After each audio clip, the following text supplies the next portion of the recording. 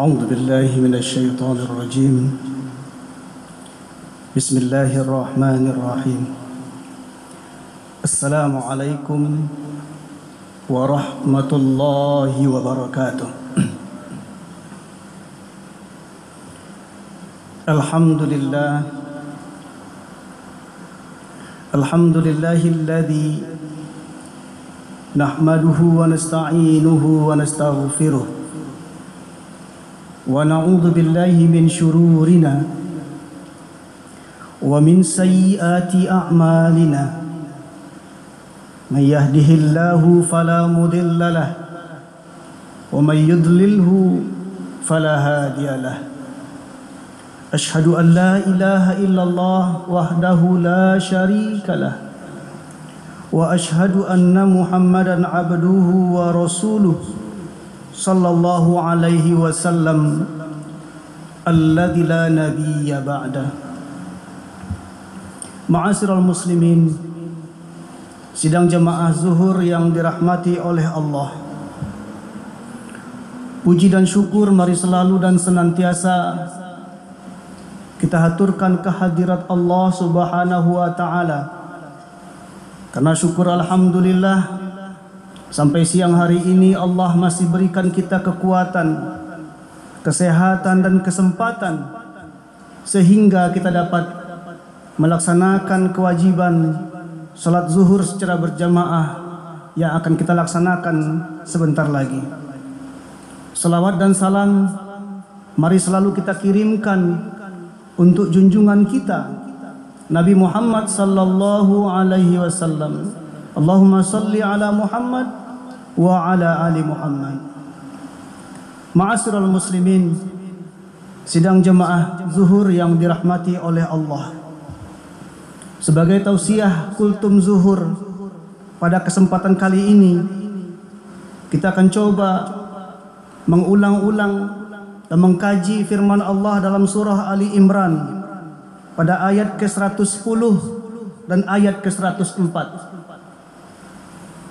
Pada ayat 110 Allah katakan Na'udzubillahi minasyaitonir rajim Bismillahirrahmanirrahim. Kuntum khaira ummatin ukhrijat linnas ta'muruna bil ma'ruf wa tanhauna 'anil munkar.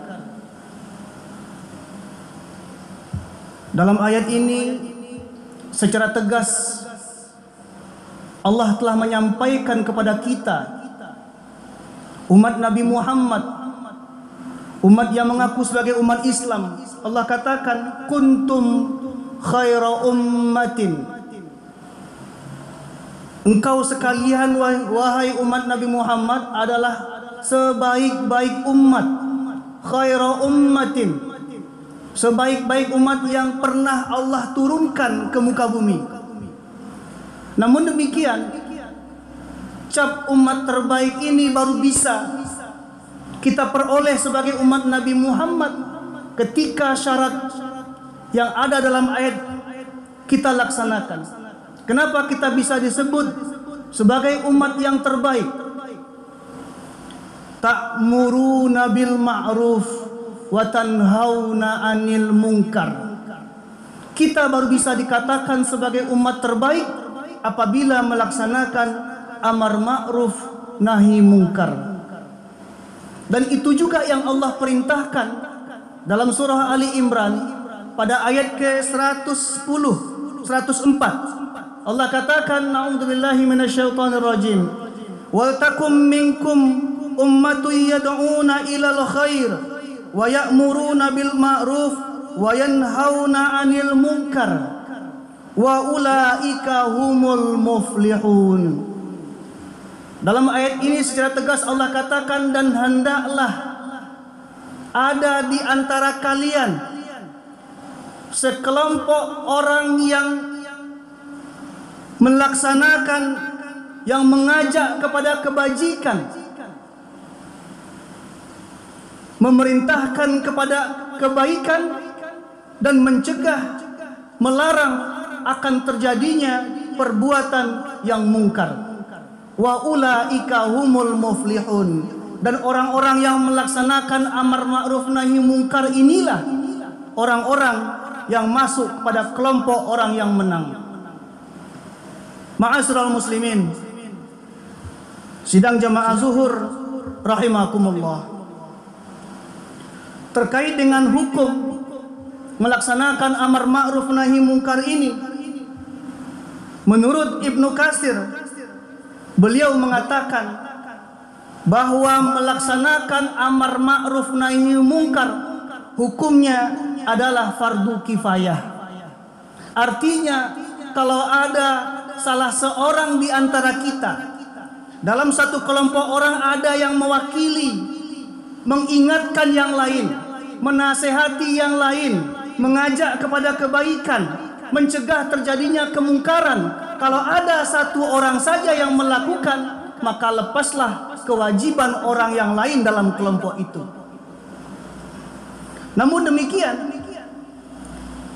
para ulama, para mufasir yang lain mengatakan hukum melaksanakan amar ma'ruf nahi mungkar, saling mengingatkan, saling menasehati, ini adalah hukumnya fardu ain.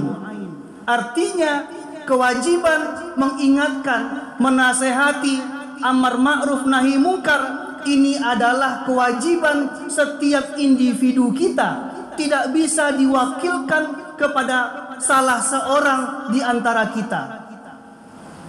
Kenapa ulama ini mengatakan kewajiban sebagai fardu ain?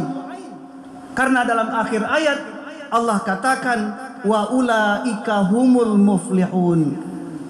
Dan mereka inilah orang-orang yang melaksanakan amar ma'ruf nahi mungkar inilah kelompok orang-orang yang menang dan yang berhak untuk memperoleh kemenangan yang berhak untuk mencapai kesuksesan adalah hak kita semua dan bukan hak untuk orang-orang yang mewakili kita saja.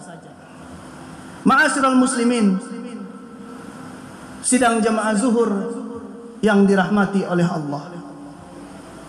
Inilah di antara ciri-ciri umat Nabi Muhammad. Inilah di antara bentuk keutamaan bagi kita sebagai umat Islam. Amar ma'ruf nahi mungkar, saling mengingatkan, peduli dengan lingkungan, tidak memikirkan kesuksesan diri sendiri saja.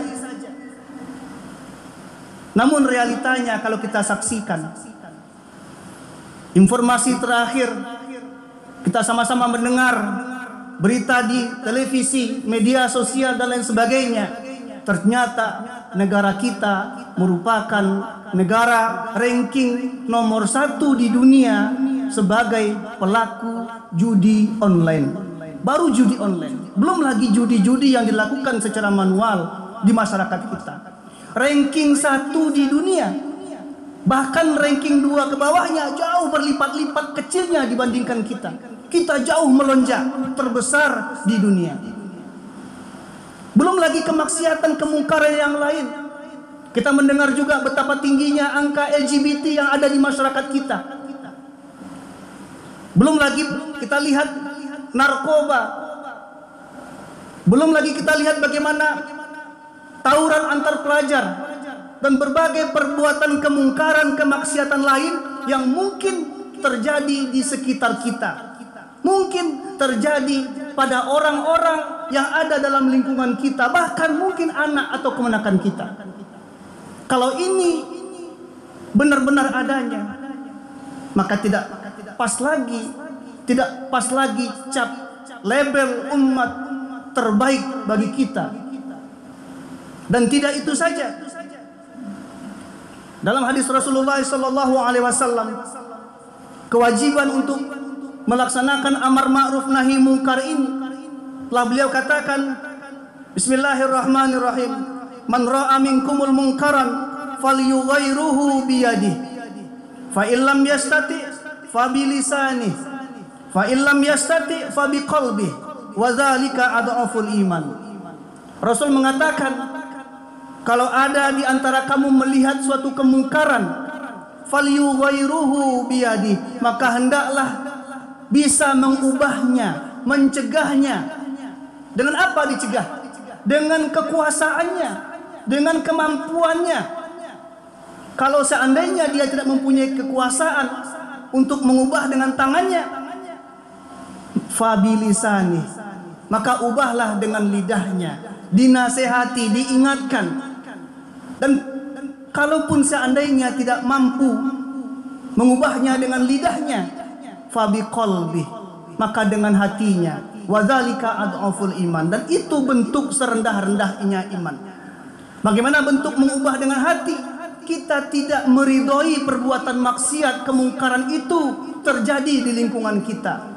Tidak mau kita ikut nimbrung duduk bersama dengan pelaku kemaksiatan, pelaku kemungkaran yang ada di sekitar kita. Mungkin sangat familiar bagi kita bagaimana kemungkaran, kemaksiatan terjadi. Ada orang pertandingan sepak bola, lah lah langsung ditakok langsung dipasang taruhan. Barasia manang bara mainyo tadanga di mukuawa atau mungkin duduk kita di kedai tidak jarang bagi kita. Ternyata murah saja bagi orang untuk eh bara nomor keluar kini. Wih 26 kini. Ternyata itu sangat mudah. Sementara kita asik kita sibuk khusyuk kita di masjid beribadah untuk meningkatkan pahala amalan ibadah kita tanpa kita sadari ternyata anak kemenakan kita terlibat dalam kemungkaran-kemungkaran yang sangat tidak diridhoi oleh Allah Subhanahu wa taala. Ma'asyiral muslimin. Sidang jemaah zuhur rahimakumullah. Apa akibatnya? Kalau seandainya kita tidak mempedulikan mengabaikan kewajiban amar ma'ruf nahi mungkar ini Rasulullah Shallallahu Alaihi Wasallam dalam hadis beliau mengibaratkan bahwa bagaimana mengabaikan perintah amar ma'ruf nahi munkar ini. Beliau katakan masalul qaimu ala hududillahi wal waqi fiha kama qaumin istahamu ala safinah.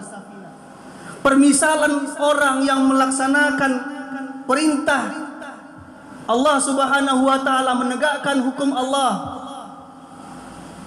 atas suatu peristiwa yang terjadi di lingkungannya maka dia seperti perumpamaan orang yang menumpang dalam sebuah kapal yang besar.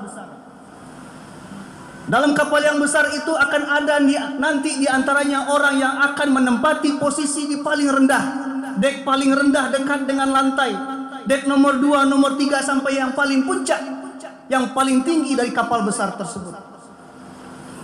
Kalaulah seandainya orang yang menumpang di posisi paling rendah, yang paling dekat dengan dasar kapal, dia ingin membutuhkan air, dia harus pergi ke lantai paling atas untuk mengambil air.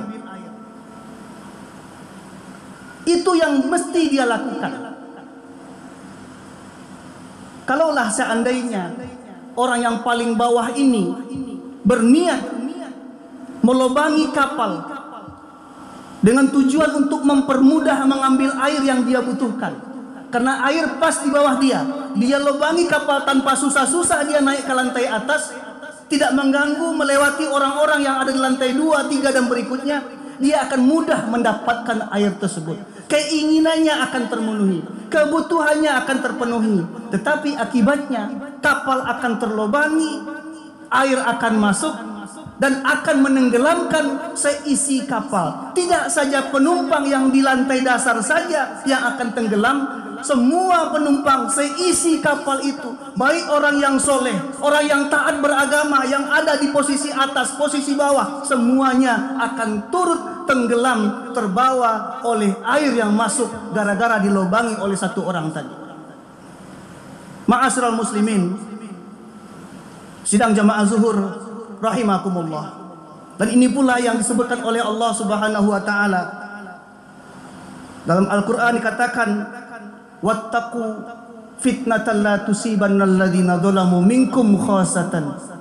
Dan hendaklah kalian waspada, takutlah kalian akan suatu fitnah, suatu musibah, suatu bencana yang tidak hanya menimpa kepada orang-orang zolim di antaramu saja musibah bencana ketika menimpa dia akan datang ke semua orang yang ada dalam kelompok dalam ada suatu masyarakat tertentu Siapa yang berbuat, berbuat zalim dia akan diberikan azab hukuman oleh Allah orang-orang yang ada di sekitarnya yang membiarkan terjadinya kezaliman, kemungkaran, kemaksiatan pun akan merasakan azab, musibah dan bencana dari Allah Subhanahu wa taala. Oleh sebab itu, suatu kemestian bagi kita untuk kembali melaksanakan apa yang diperintahkan oleh Allah. Melaksanakan amar ma'ruf nahi mungkar, saling mengingatkan di antara kita yang tentunya dengan cara dengan hikmah dan penuh kebijaksanaan. Fa'tabiru ya ulil absar la'allakum turhamun. Assalamualaikum warahmatullahi wabarakatuh. Allahu akbar Allahu akbar. أشهد أن لا إله إلا الله. أشهد أن محمد رسول الله.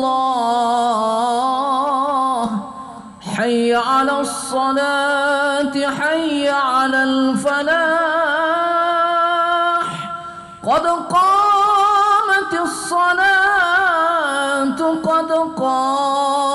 الصلاة.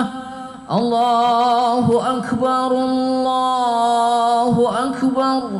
لا